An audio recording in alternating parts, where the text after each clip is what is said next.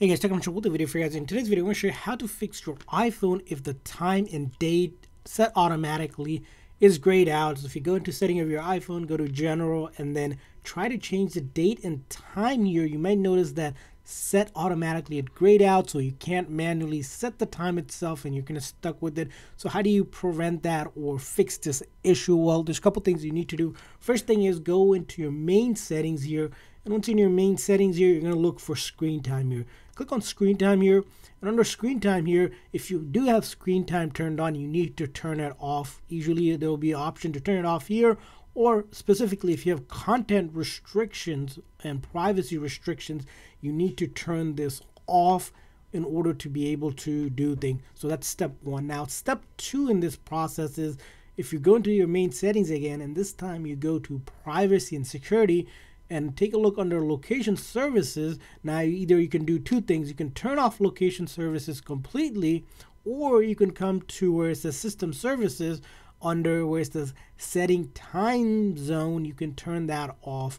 Either way work. This one works, or you can just completely turn off location services. And once you have turned these two settings off, you go back into your settings, general, and take a look to see if you can change your date and time now this time manually and you should be able to do it now. Let's say you still haven't been able to do that and that might be because your carrier is actually controlling or setting the time zone. And for some iphone that is the case for some carriers. So in order to fix that you go into your setting of your iphone go to general and then about page. Under the about page wait about 30 seconds. And the reason why you're waiting about 30 seconds is that there might be a carrier update that might pop up once you wait about 30 seconds or so and you have to be on this page. Just hold on a second like a 30 seconds or so and if that is updated it'll say update carrier which is different from updating your phone. It's a carrier update that will come through here.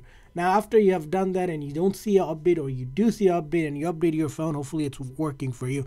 Now even after doing that if it's still not working the next thing you can do is force restart on your iphone. So in order to do a force restart you're going to press and release the volume up followed by press and release the volume down one after another really quick and then hold this side button until the screen goes completely black and once we see the apple logo we'll let go of that button. So i'll do volume up volume down then I finally hold that side button. Remember the sequence it has to be volume up and down quick one after another and then simply after you have done that just keep on holding it do not slide to power off because that will be just a normal turn off and on. And once you see the Apple logo, you let go of that button. And what we essentially have done is shut down the software of the phone and then have it reload the code. So if it's software related issue, preventing you from changing the time. It should fix it for you.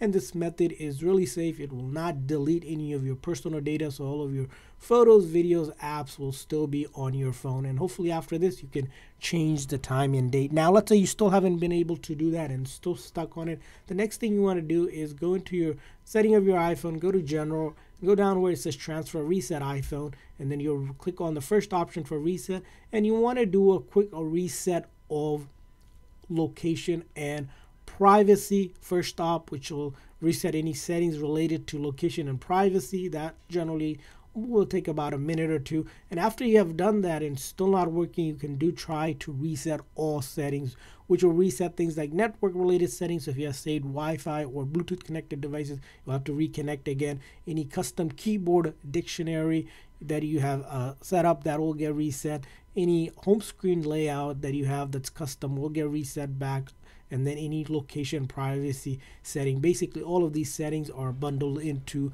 resetting all settings. But resetting all settings will not delete your personal data. So all of your photos videos apps still will be safe on your phone. You don't have to worry about that. But it will be necessary to do a reset of all settings if you simply can't change the date and time.